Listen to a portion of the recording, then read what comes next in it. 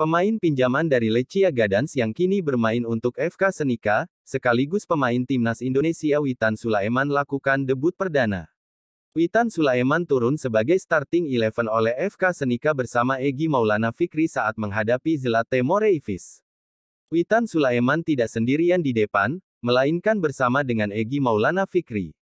Dan posisinya adalah di FK Senika sebagai second striker. FK Senika sendiri saat ini tengah bertanding dengan Zlate Moreivis dalam Tip Sport Liga. Pertandingan tersebut merupakan lanjutan Liga Slovakia dan menjadi debut perdana Witan Sulaiman. Witan Sulaiman sendiri bergabung sebagai pemain pinjaman dari Lechia Gadans. Ia juga bisa menjadi pemain tetap FK Senika, apabila ada permintaan. Witan Sulaiman dan Egi Maulana Fikri bahu-membahu melawan Zlate Moreivis dalam Tip Sport Liga. Duet maut Witan Sulaiman dan Egi Maulana Fikri terjalin saat timnas Indonesia melakoni kejuaraan Piala AFF Suzuki 2020. Duet timnas Indonesia tersebut berlanjut untuk kemenangan FK Senika atas Zlate Moreivis dengan skor 2-1.